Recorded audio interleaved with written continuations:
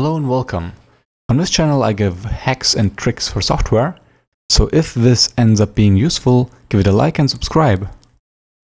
To be able to open a Linux file system like ext2, ext3, ext4 in Windows, all you have to do is to install this little tool called ext2fsd. It's free and open source and you just install it, decide which options you want enabled, and then you don't even have to restart. At the end you just open the manager, you right click the drive you want mounted, and you pick assign drive letter. And that is it. It is now accessible in the File Explorer. So give this video a like and subscribe for more tips in the future. Share this video to anybody you think would benefit from this. It's really great. Finally, you don't have to boot into Linux to move files around. Great, right? Right, thanks for watching, see you next time. Ciao!